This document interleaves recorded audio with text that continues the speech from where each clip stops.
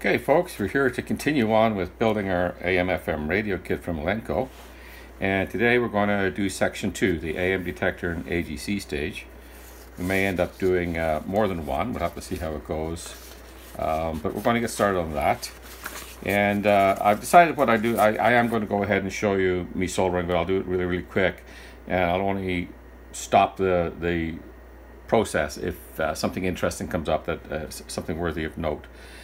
But uh, this one section here is all just these um, passive components they're going in today. Then some, some testing. And uh, then we go on to section three, which is the second IF amplify, AM IF amplifier. And uh, well, let's get started.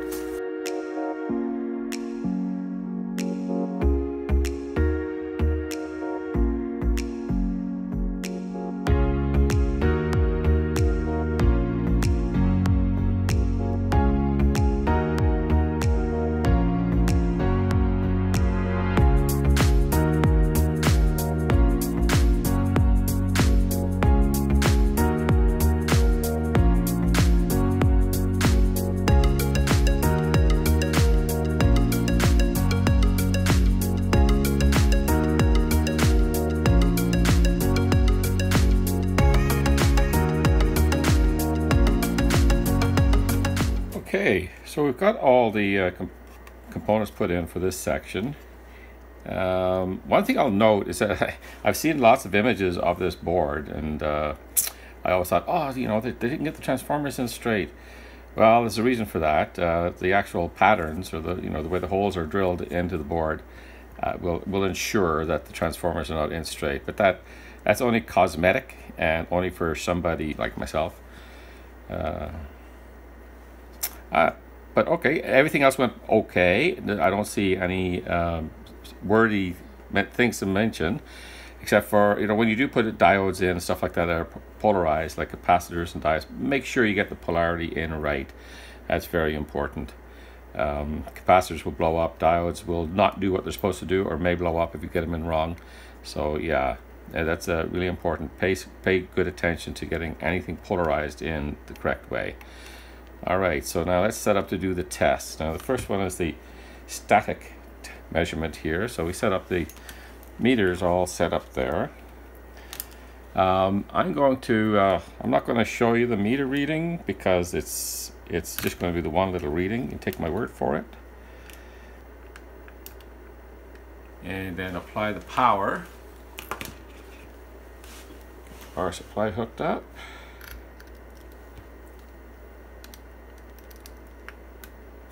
And turn on the power. Now we're supposed to read 1.5 volts here. So turn on the power and we are definitely not reading 1.5 volts.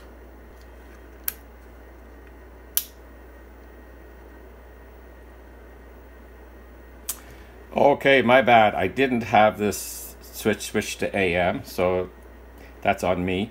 But now that I do have it switched to AM, we are reading 1.45 volts.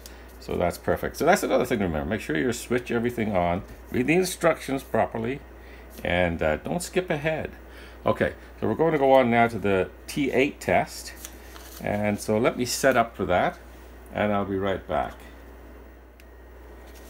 Okay, T8 test. Uh, we've got the multimeter set up to test point 3 and test point 15 as per the instructions. And now we need to turn everything on reading the power, and we should be reading 9 volts. And we're reading 8.99. That's good enough for me. Okay, next test, dynamic measurements, AM detector and AGC test.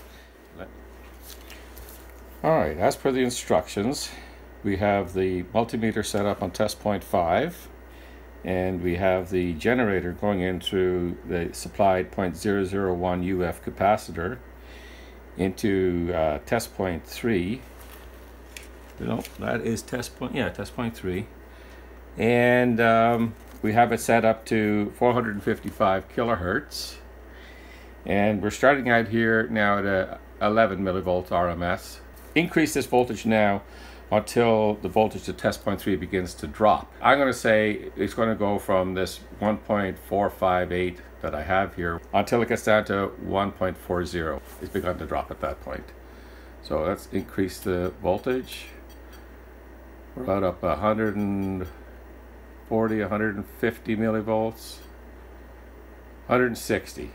160 millivolts, we're at 1.40 volts. So we'll mark that down here. 160 millivolts.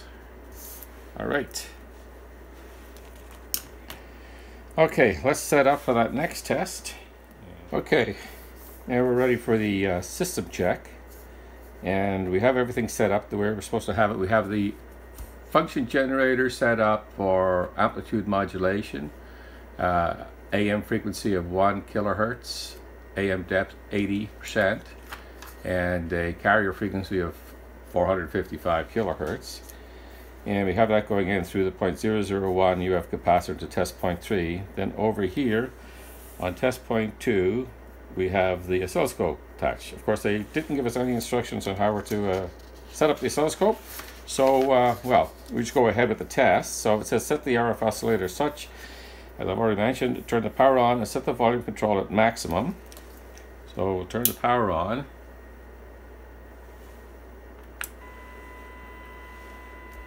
Set it to maximum. And then slowly adjust the amplitude of the RF generator output until you hear 1 kilohertz tone in the speaker. So we hear it already at 11 millivolts. So let's see what we can turn it down to so we don't hear it anymore.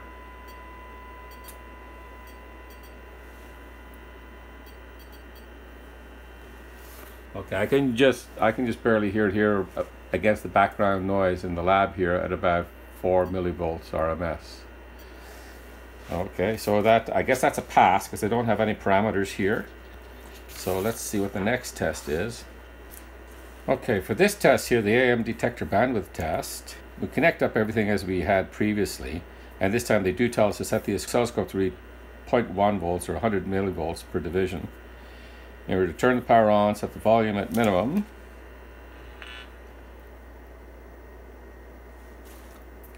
And increase the amplitude of the generator until the signal on the oscilloscope is four divisions peak to peak. Okay. So let's start increasing the amplitude. Now we're at four divisions peak to peak. Check the signal level to make sure it's free of distortion. It is. I got some noise from LED lamps in the in the lab here. I'm gonna have to do something about that eventually.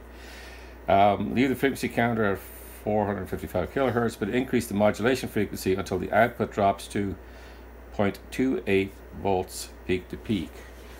Okay, let me get uh, peak to peak reading on here. So we're currently at uh, 440 millivolts peak to peak. These are four divisions plus the noise from the LEDs. And now we increase our AM frequency until we're down to 0.28. Here we are.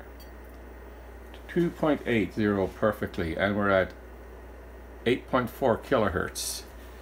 So we'll record that. It should be greater than 5 kilohertz. So we are greater than 5 kilohertz. That's pretty good.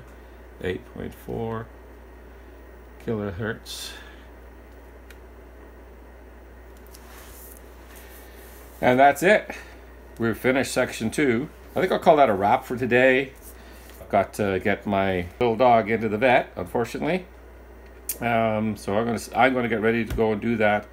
I'll probably I'm probably going to arrange to move forward a little bit quicker than we're moving forward now because I, I would like to get this thing finished in in weeks rather than months because there's so many different sections.